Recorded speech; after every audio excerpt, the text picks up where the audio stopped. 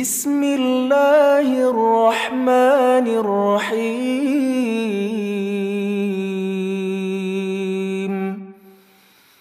اقرأ باسم ربك الذي خلق خلق الإنسان من علق اقرأ وربك الأكرم الذي علم بالقلم علم الإنسان ما لم يعلم صدق الله العظيم Assalamualaikum warahmatullahi wabarakatuh. Halo sahabat PNF yang dirahmati Allah Subhanahu wa taala. Pada kesempatan Nuzulul Quran 17 Ramadan ini, PNF Channel akan berbagi skapur siri tentang tokoh perempuan dalam Al-Qur'an. Maha suci Allah dengan segala firman-Nya keutamaan bulan puasa yang lain yaitu diturunkan kitab suci Al-Qur'anul Karim sebagai tuntunan hidup manusia di dunia dan alam akhirat. Salah satu isi Al-Qur'an tentang orang-orang yang diabadikan di dalamnya.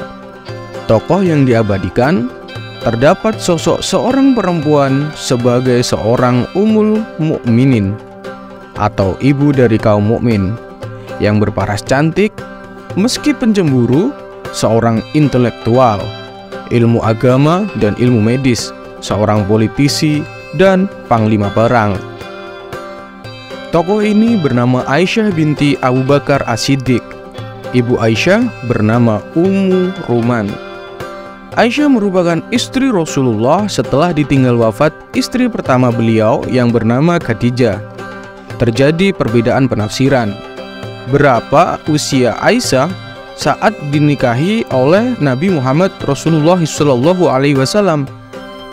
Umur 9 tahun yang diceritakan hadis oleh Bukhari Muslim atau usia 13 tahun menurut riwayat lain dari Al-Tabari. Sementara itu, menurut perhitungan Abdul Rahman ibnu Abi Zannat mengatakan berusia 18 tahun dan hidup serumah dengan Rasulullah pada usia 20 tahun. Seorang perempuan yang berparas cantik, manja, dan Rasulullah selalu memanggilnya Humairah. Hadis sebagai salah satu sumber hukum yang utama setelah Al-Quran yang memiliki peran yang sangat kuat. Aisyah radhiyallahu anha menduduki posisi keempat sebagai penyampai terbanyak hadis yaitu sebanyak 2210 hadis. Tetapi Aisyah radhiyallahu anha menempati ranking pertama sebagai penyebar hadis yang terkait dengan perempuan. Aisyah terkenal sebagai pembela hak perempuan atau emansipasi, baik dalam perilaku sebagai istri maupun hak hukumnya. Suatu saat Aisyah berkata bahwa alat pemintal di tangan wanita lebih baik daripada tombak di tangan pejuang di jalan Allah. Pada kesempatan lain, saat Aisyah ditanya tentang perempuan yang utama, Aisyah mengatakan, "Wanita yang tidak ucapan buruk, tidak mencari jalan-jalan untuk menipu laki-laki, hatinya hanya terfokus pada dandanan untuk suaminya, dan senantiasa memelihara keluarganya." Itu artinya Aisyah menganjurkan agar wanita bisa melakukan pekerjaan setara laki-laki dan tetap di rumah sambil memelihara keluarganya. Peran Aisyah radhiyallahu anha dalam menyebarkan dan mengoreksi praktik keagamaan dan hukum Islam sangat luar biasa. Bahkan Umar bin Khattab sering kali bertanya kepada Aisyah bila terkait dengan perempuan.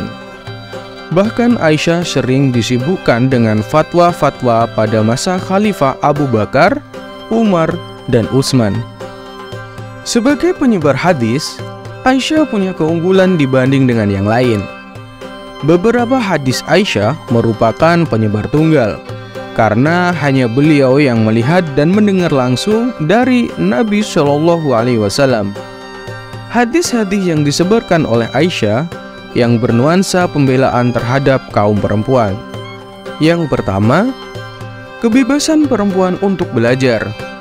Salah satu hadisnya, sebaik-baiknya kaum perempuan adalah wanita dua ansor yang tidak dihalangi rasa malu untuk mendalami ilmu agama. Yang kedua, kebebasan wanita dalam menentukan suami.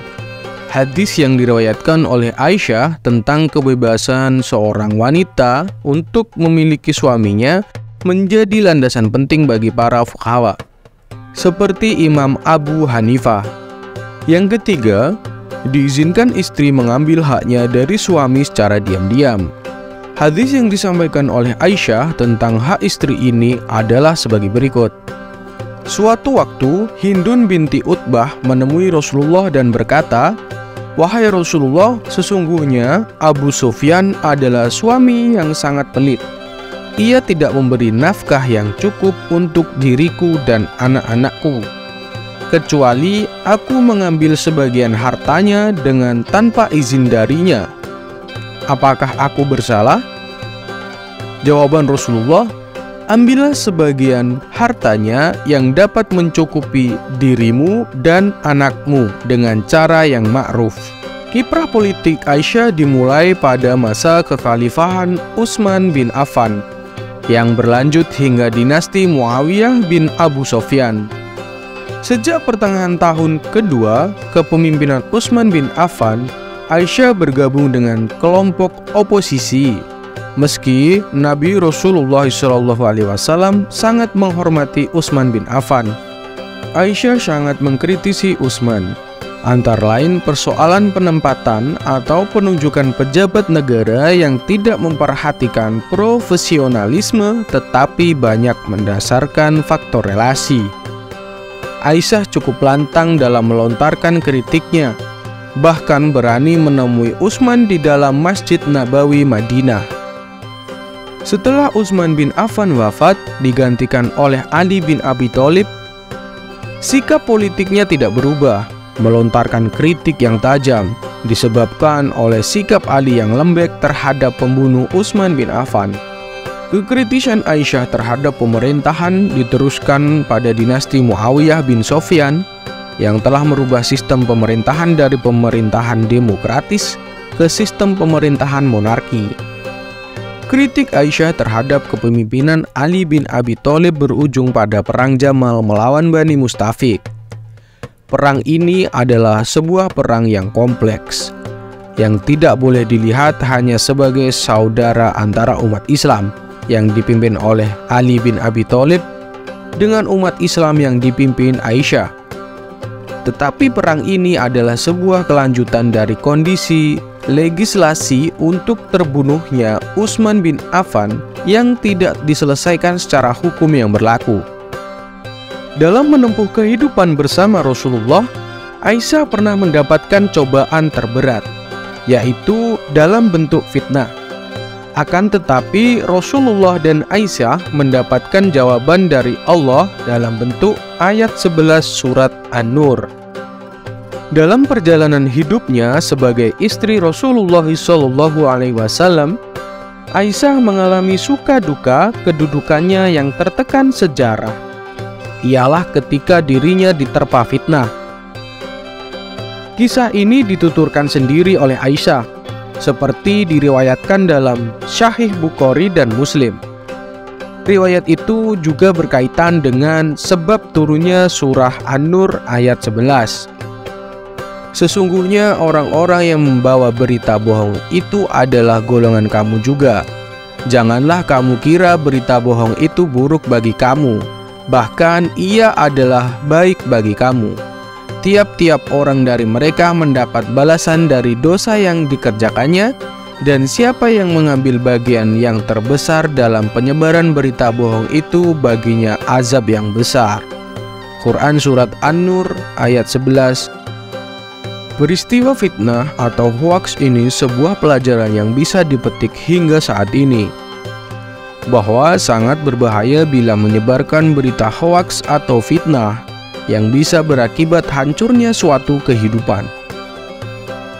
Bahkan Aisyah sakit berbulan-bulan, bahkan Nabi sendiri tak bisa menuntaskan kebenaran berita ini. Sampai Quran Surat An-Nur turun untuk menjernihkan situasi dari berita fitnah tersebut, bahwa berita fitnah lebih kejam daripada pembunuhan. Hanya Allah yang Maha Tahu. Aisyah radhiyallahu anha adalah sosok perempuan perpaduan antara pesona kecantikan yang terpancar dari kecerdasan berpikir dan kematangan perangannya. Sebuah penggabungan antara kecantikan yang berasal dari dalam personal diri, perempuan inner beauty dan kecantikan fisik yang tampak dari sudut pandang lahiriah. Sahabat PNF, demikianlah sebuah skapur sirih Ramadan dalam rangka memperingati turunnya Al-Quranul Karim. Semoga bermanfaat. Selamat menunaikan ibadah puasa. Wassalamualaikum warahmatullahi wabarakatuh.